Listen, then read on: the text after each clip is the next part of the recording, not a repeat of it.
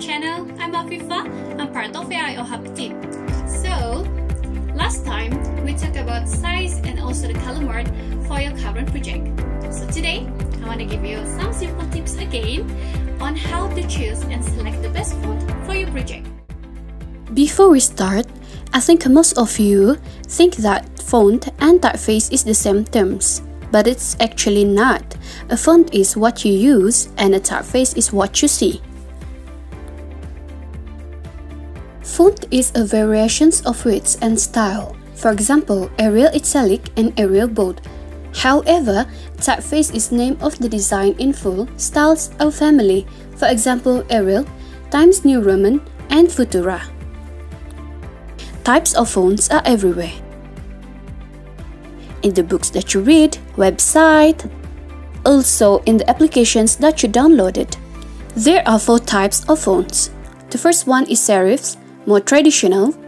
Second one is sans serif, more modern. And the third one is scripts, handwritten and calligraphic. And the last one is decorative. Some of you might ask, why it's important to know every types of fonts? Because every fonts have a mode of their own. For example, fancy, unique, trendy, vintage, casual, and also mysterious. As a beginner of designing, you might think that what fonts actually go well together. This is what we called font combination.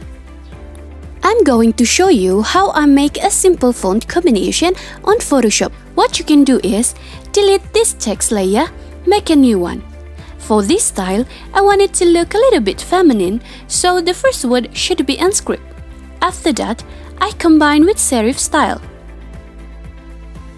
If you feel unpleasant to the eye, you can make it better with shadows. I'm sure if you use font combination, your design will look better. That's all from me. If you have any questions, just comment down below. And don't forget to like, share, and subscribe this channel. See you on the next video. Bye bye!